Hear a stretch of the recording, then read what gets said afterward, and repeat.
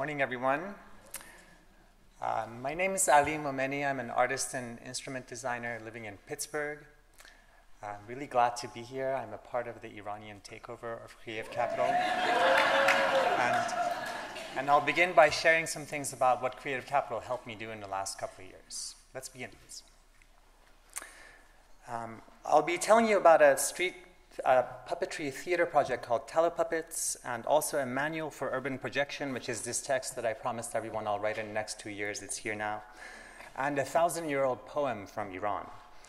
So we started by making a couple of puppets. I had a mustache until a few days ago, so the left one is me. And we call them telepuppets because they can record video and stream it to the net. Uh, we, uh, my puppet is made to be an interviewer. My collaborator's puppet is a newsman journalist.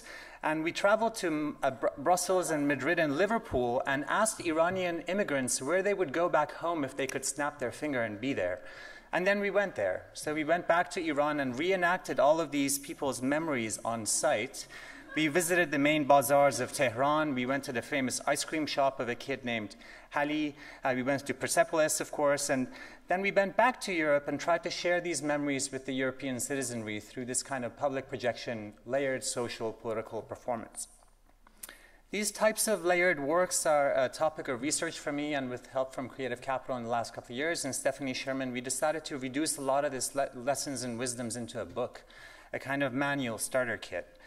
Uh, this manual is made for artists, community organizers, activists, public programmers, school teachers, and anyone who wants to work outdoors with video. The focus is on mobility and low cost, lo-fi, intuitive interfaces, and, and methodologies that are social.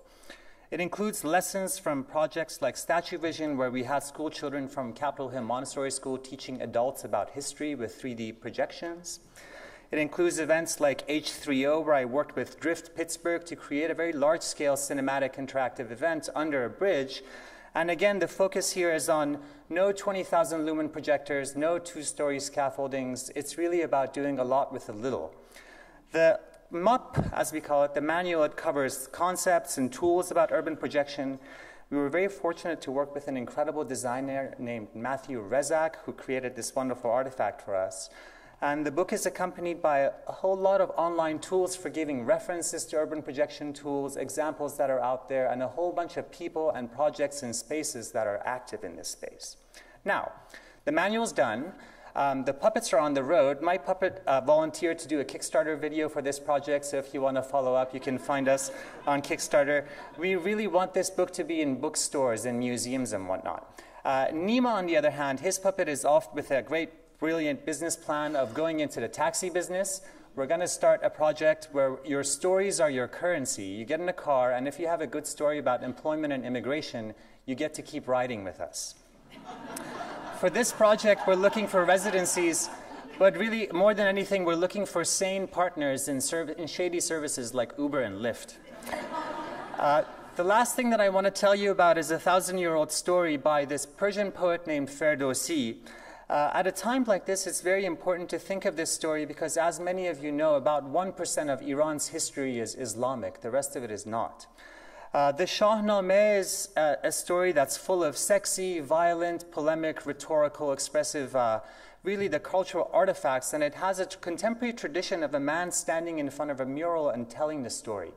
So I've put together a team, an amazing illustrator, screenwriter, and some computer scientists and roboticists and we're working on a stage performance of this tradition called Naqali, where a storyteller is accompanied by flying robots that help them tell the story on a projected screen. Um, I'll tell you a little bit about the, the robotic interaction. We've created a system where the storyteller can use, use his gestures to conduct complex choreography for the robots. The robots will be helping him tell the story.